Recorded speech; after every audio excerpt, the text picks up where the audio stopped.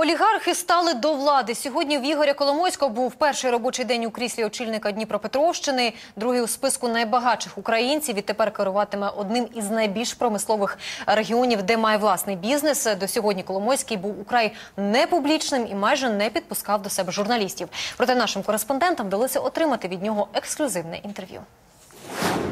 Сьогодні один серед найбагатших людей України сів у губернаторське крісло. Каже, незвично, ба навіть некомфортно. У меня есть ощущение, что эти кресла, они забирают, наоборот, энергию и силу.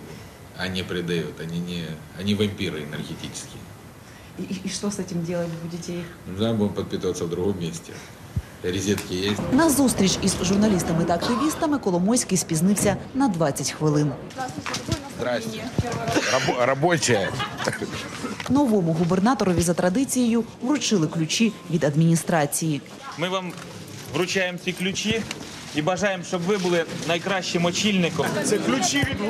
Йти в губернатори Коломойський зізнається не планував. Если бы мне сказали там еще две недели назад о том, что я буду сидеть в этом кресле и давать интервью в качестве губернатора или начальника Днепропетровской ОДА, я бы посмеялся.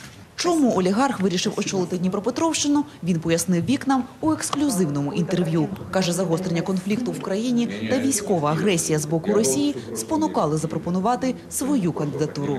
У мене опыта управленца на таком государственном уровне, но я, я понимаю, что это не совсем бизнес, но я постараюсь создать хорошую команду и найти тех управленцев, у кого есть этот опыт. На посаді губернатора Коломойський запевняє, не братиметься до бізнесу і доручить це менеджерам. А раптом що? Це буде на його совісті. Я буду лукавить, если я скажу, что находясь, допустим, э, в этом кресле и решая какие-то вопросы, связанные, если я столкнусь э, с вопросами, связанными с теми предприятиями, где я акционер, я не буду подсознательно понимать, что э, я решаю, могу решить вопрос в ту или другую сторону. Но это конфликт интересов, он будет оставаться на моей совести. Новий очільник не прагне кадрових революцій, спиратиметься на тих, хто має досвід. А щодо хабарів жартує, вони йому не потрібні. Я уверен в том, что мне никто ничего не будет предлагать, потому что это бессмысленно.